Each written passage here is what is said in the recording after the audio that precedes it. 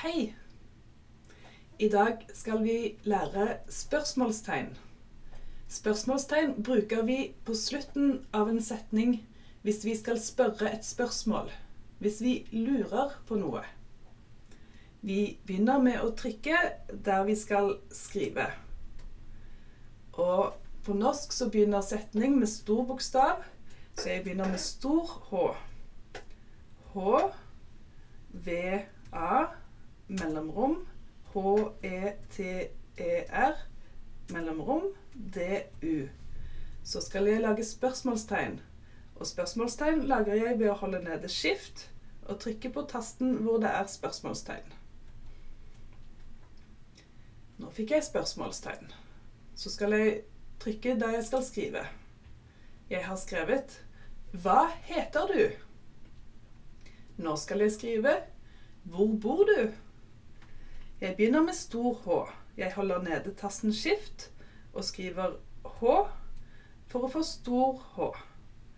Så fortsetter jeg med V-O-R mellomrom B-O-R mellomrom D-U spørsmålstegn.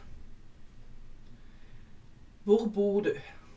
Så trykker jeg der jeg skal skrive, og begynner med stor bokstav. H, V, O, R, D, A, N. Mellomrom. G, Å, R. Mellomrom. D, E, T. Så skal jeg ha spørsmålstegn, og det holder jeg skift og trykker på spørsmålstegnstasten. Hvordan går det? Så trykker jeg der jeg skal skrive, og du ser at det blinker. Markøren blinker der hvor jeg skal begynne å skrive. Ser du her. Så jeg begynner å skrive. Jeg holder nede skift for stor bokstav.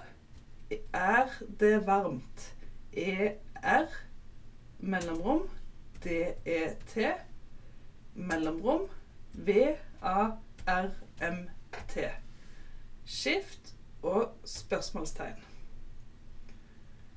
Så trykker jeg på der jeg skal skrive, og skal skrive 'Er du sulten?' Jeg holder nede skift og trykker på E for stor E. R, mellomrom, D-U, mellomrom, S-U-L-T-E-N. Så skal jeg ha spørsmålstegn, og jeg holder nede skift og trykker på spørsmålstegn. I dag har vi lært om spørsmålstegn. Spørsmålstegn ligger på norsk på øverst på høyre side på tastaturet. Og du holder nede skift for å trykke på spørsmålstegnstasten.